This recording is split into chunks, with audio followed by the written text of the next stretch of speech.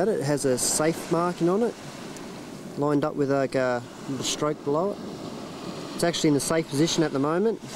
Come round to the right, see a series of numbers. That's all a part of the arming device. It's uh, done in seconds. So for every second that that uh, arrow is lined up with these numbers is how long it'll take before the uh, fuse is armed. It's a powder burn fuse, so has like a, a ring inside of it of powder. And uh, when you line the numbers up with that arrow, it will be how much of that powder will actually burn before it uh, is actually armed. Around the back here has a date on it. It was actually made in the 3rd of 39. Uh, it's a four inch cartridge. Uh, yeah, four inch cartridge from the, the gun on board. Uh, this was just a lucky find, it was underneath the torpedo. Uh, as you can see it's been well protected underneath there. And uh, we'll be blowing these up this afternoon along with the projectiles, the four inch projectiles we can't get out of the uh, wreck because they're fused into the wreck. Five, ten, ten minutes. Explosivo. So you stay behind the car? Yeah, safe. Yeah. Okay. There'll be two explosions, one where the five projectiles, because they're fairly close together, and the other where the fuses were located in three boxes. Uh, these are minimal charge in them, and they'll just be made safe. There's only a small amount of explosive being used here, but because it's shallow water, we'll expect to see uh, quite a plume from the explosion.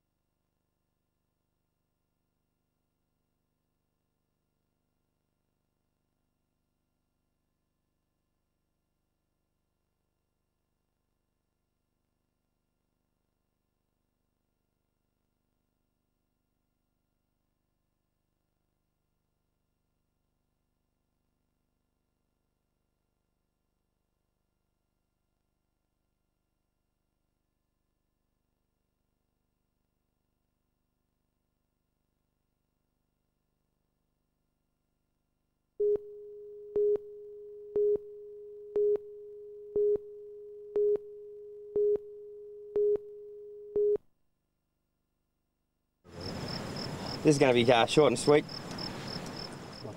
The divers get a final brief on this morning's torpedo blast. This time, there'll be more than the locals watching them. Their Commodore is flying in from Dili with an entourage. If there's no questions, uh, let's roll.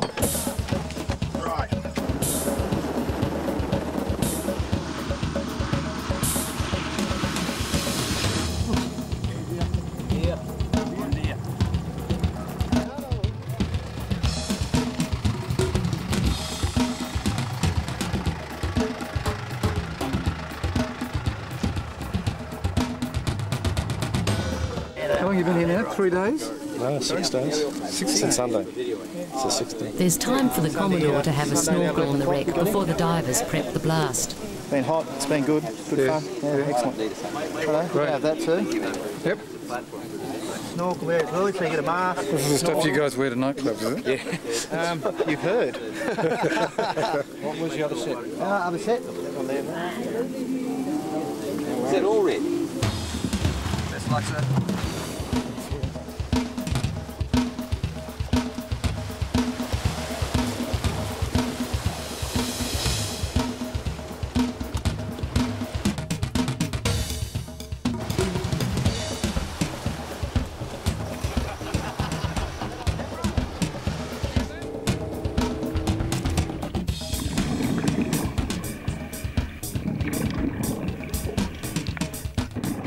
Obviously a ship there. Um, big propellers sticking out like gravestones, boilers, uh, lots of pipe work, lots of cables. You can see the anchor. You can see the gun. Uh, it's a tremendous uh, experience to be able to go out and uh, have a look at it. These divers are doing a tremendous job. I mean, this is a bit of a bonus to be able to come down and do this. Their main task is, you know, clearing harbours, uh, clearing Dili and things like that, doing beach surveys, making sure that our landing ships can get in. So to be able to come down here and do something as worthwhile as this is is a bonus. The divers have gone out to lay the charges and prep the blast.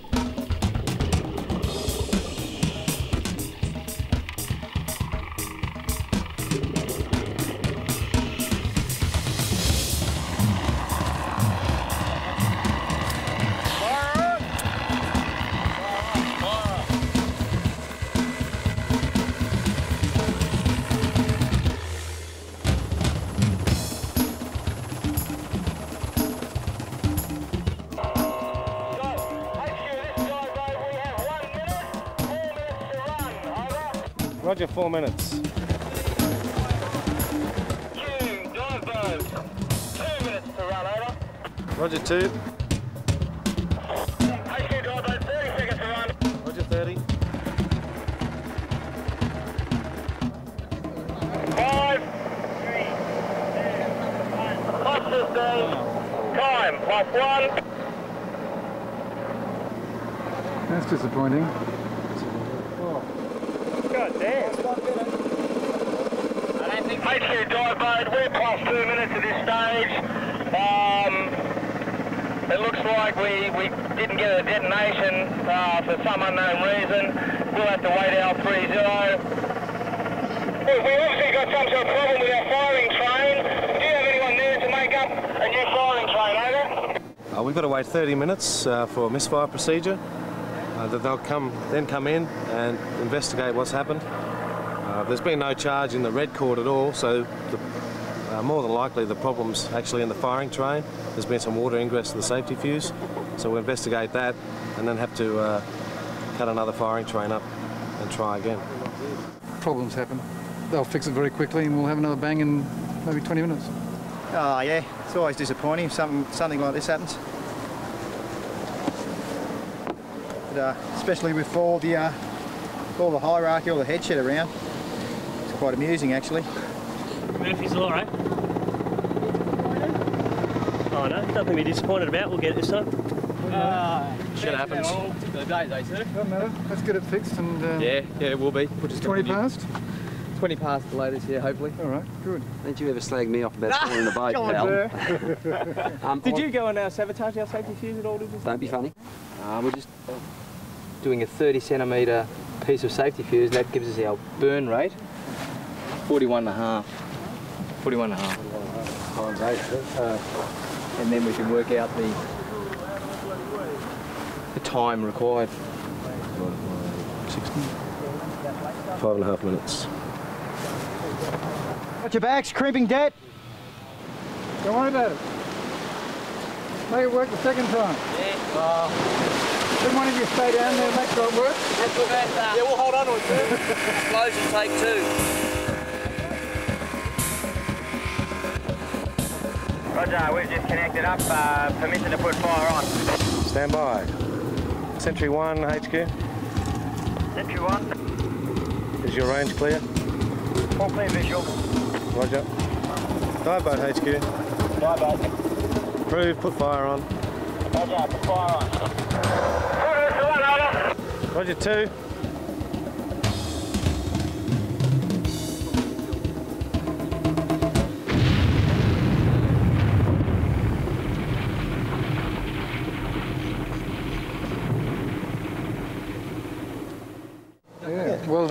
Well done. circumstances? Not quite as good as New Year's Eve in Sydney, but pretty close. well, we better grab our weapons and Okay, head back to the um, helicopter. Okay.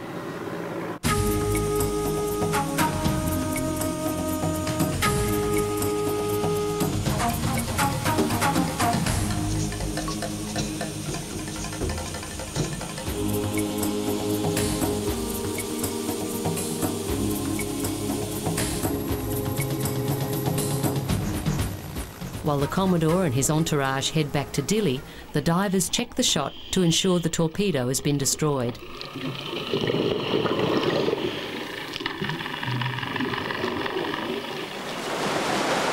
Told you would get it. Yeah, good. Actually, Jimmy, you got a bit off it.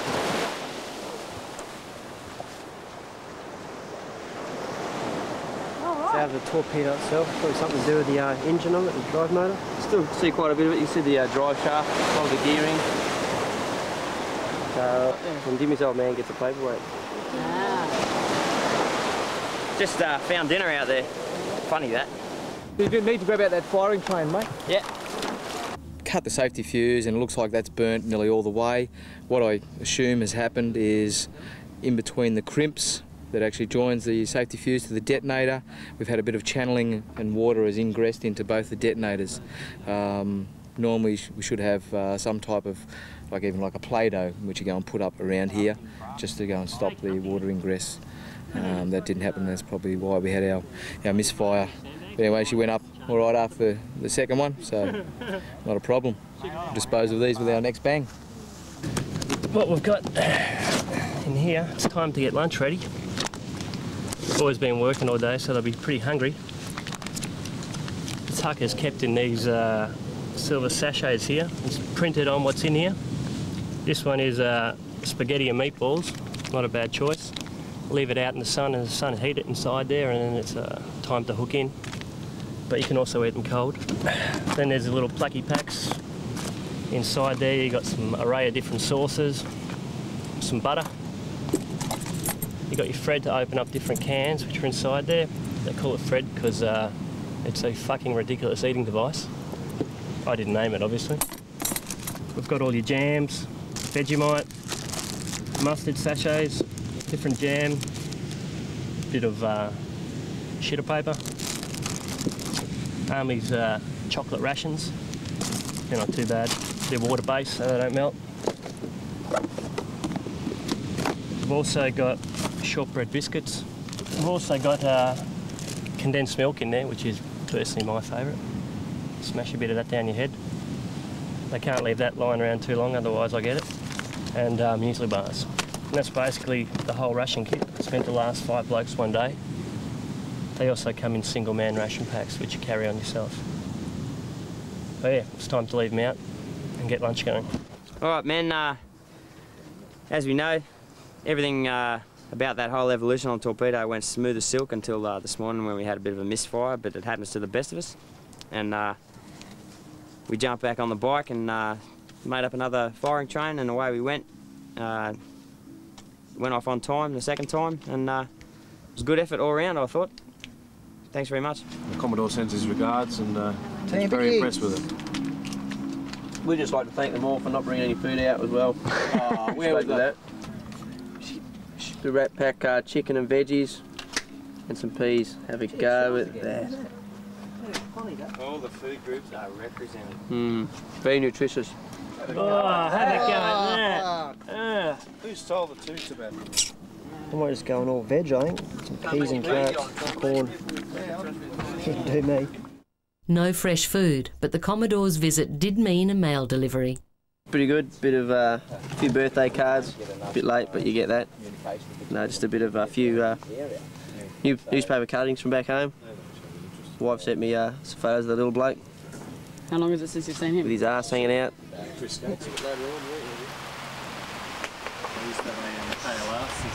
Oh, yeah? Northern Territory. Excellent. Right. Good read. I went in town the other day.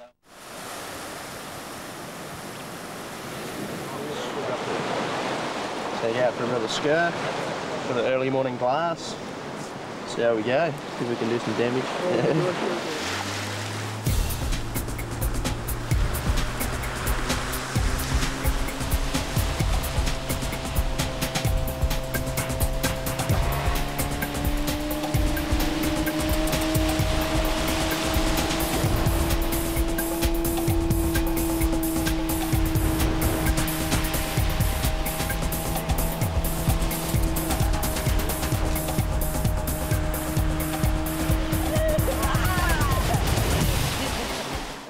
Yes, it was 58, 59 years since the Voyager actually beached, and with the uh, the charges they placed on it, the bombing run, and the time and people that have been around, I'd say a lot of that treasure would have gone.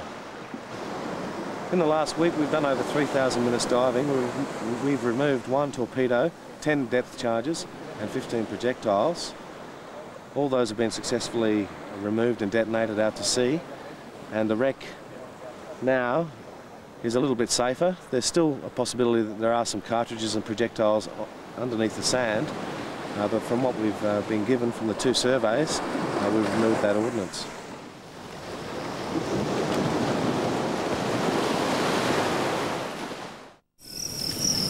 let's see if more impressive than last one.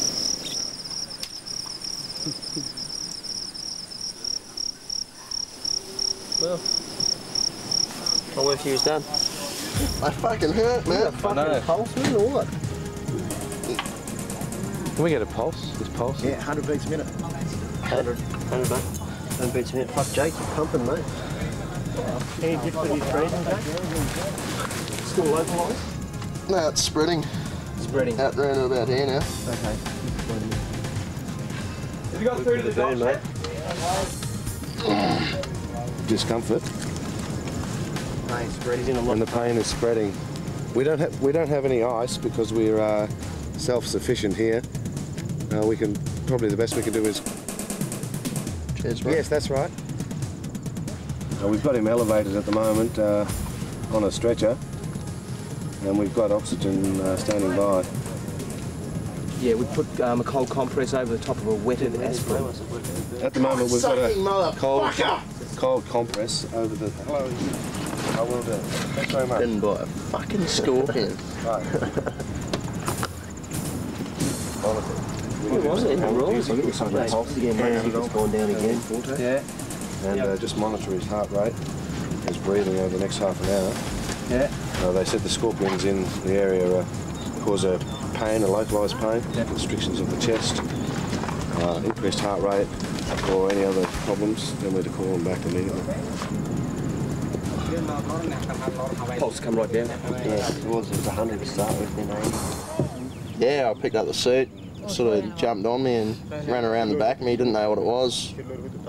Then it came around the front, I went to flick it off, but it bloody latched its tail into me.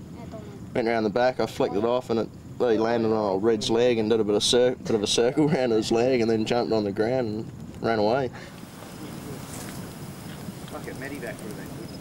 That's where he was living. Hoping to get his family and kids. Revenge is the best medicine. And so are some strong painkillers. It's not long before Jake is up and about and helping lift and shift camp for their departure today. Look at that, hey, hey, hey, hey, hang on. Uh,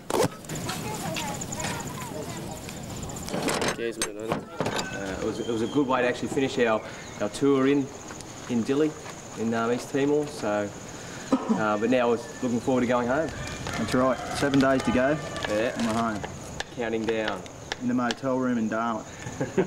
Jake still might die. Nine days we'll be home. Seven more days. It was good he got bitten by a scorpion. Unless Jake gets bitten by something else. Yes. Yeah, it's not too bad. It's still pretty sore. Yeah. No one cares. No one cares. No one cares. Yeah. Yeah, it was good fun though. Sort of get to know the boys and that.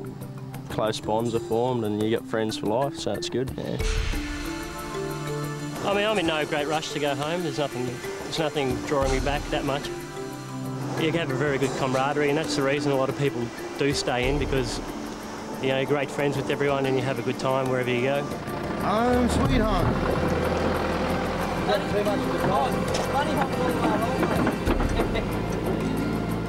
Just uh, getting back to a normal life with a, with a wife and kids.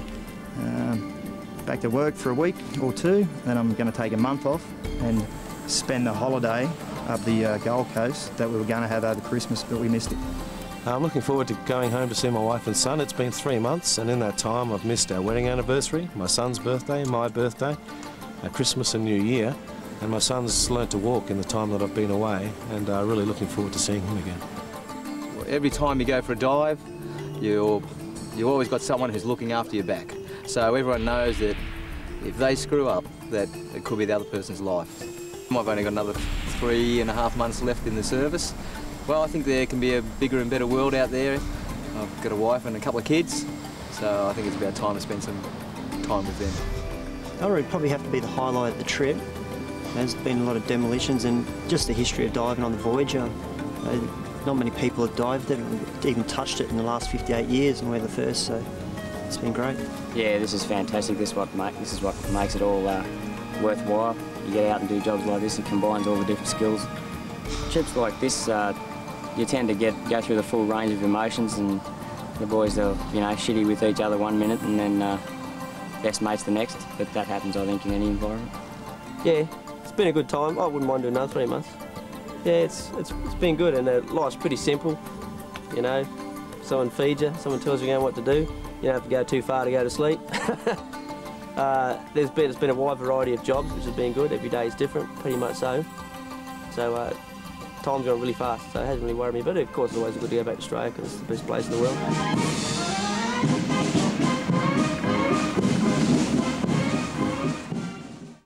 I was just casually looking out the window and I heard these screams, don't move, don't move. So I, of course, looking around, I'm thinking, who's he talking to? And then Ed's grabbed my arm and looked down, there's this, this huge scorpion was on my arm. And then uh, Shirl's come to the rescue and knocked him off. After he took his time, that is. yeah. Would have been victim number two. That's what's